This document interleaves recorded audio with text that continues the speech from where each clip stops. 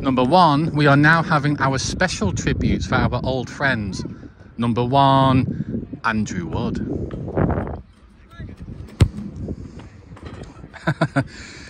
Andrew Wood, I didn't realise he was capable of that. He was a big man after all, folks.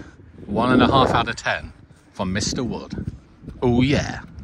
Like and subscribe to V Wilson 92 and like and subscribe to me, Poulton Real, if you enjoyed my special analysis. At least it was on target. Let's think. Let's think positively. One and a half out of ten, borderline garbage.